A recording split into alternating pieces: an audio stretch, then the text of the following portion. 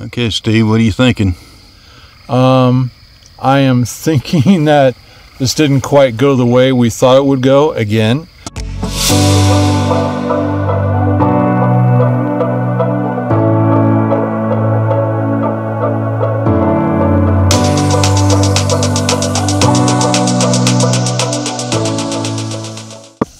Well, good evening. It is a Thursday evening, and I'm out with two photographers. Steve. Say, hey, Steve. Hi, Steve. And you know this guy behind me here, too. Raymond Huddleston. He's a, a more wildlife photographer than landscape photographer, but uh, we're teaching him all the, the landscape things. We're going to attempt full moon pictures tonight, and it's supposed to rise behind this hillside here.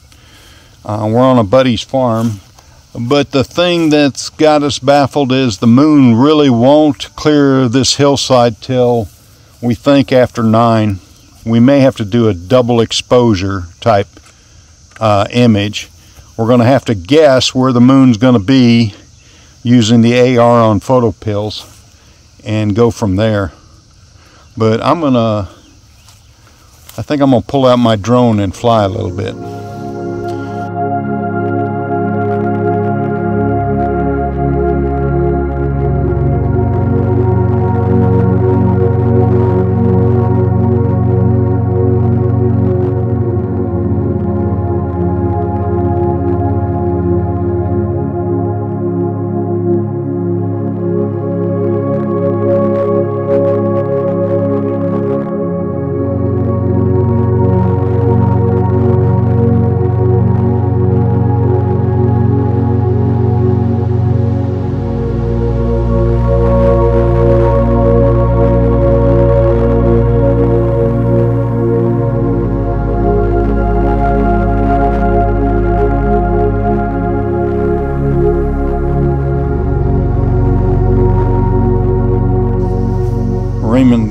Got him a, a newer lens. The uh, what is it again? 180 to 600.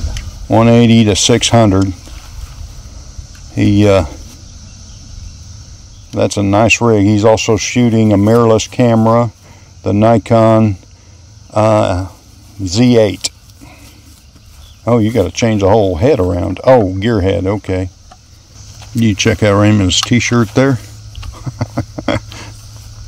Everybody needs one of these. Yeah, that's right. This is a gearhead. I'm wanting to get me one. It's ideal for landscape. Oh, he's already over here working a composition. Let me get over there. Let me turn this around again so you can see this beautiful area we're looking at. Uh, flowers are moving a little bit, Steve. Don't tell me stuff like that. barely. but we're getting some nice lighting right now. Okay, Steve. As usual, what's your preconceived idea? Um, well, as usual, I guess what we thought was going to happen isn't quite happening. We're not masters of PhotoPills just yet, um, but we think we have where our camera's pointed in the right direction. Although, because we're using such uh, you know, 300 millimeter, I well, you guys might even have more than that, 600 millimeter. 600. uh, you're really zoomed in, and so you really got to get that exact spot where the moon comes up, and we're not sure. And so the plan, I think, is that we've taken a foreground photo now because there's light out. We- We thought we'd get here, and the sun would set just as the moon's coming up, like a little teeter totter thing, and we would have some lit land and the moon and the sun going down. Sun's behind the trees. The land's not going to be lit too much longer, and we think we still have an hour before the moon comes up. And so it's going to be dark by the time we're shooting the moon. So we shot a scene in front of us, and um, the moon comes up. We'll get a shot of that, and then we'll have to artfully blend the two as opposed to having the one. So we had a plan. Now we're on plan B, and for all I know, an hour from now we'll be on plan C, and uh, well, we'll see what goes on from there.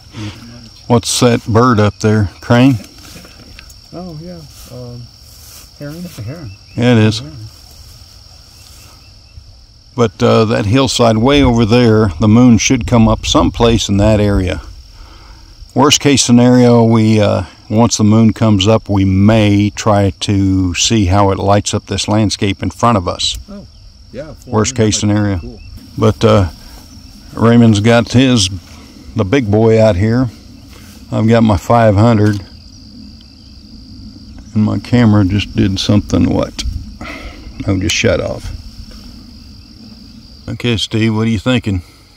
Um, I am thinking that this didn't quite go the way we thought it would go again. Uh, the settings that I got from the video didn't come anywhere near close to, to working, so I had to start playing, which is fine. Uh, that's part of the fun is playing with it. And I think you said it pretty well. It's going to take a lot of Lightroom magic to make this turn out, if it's at all possible. So a learning situation when we got the moon coming up. Um, but there's something about hills and valleys. I don't know. It throws us off. we need to be off. out in the desert. I don't know if you'll be able to see this on my camera, but Raymond got a good one on the back of his camera.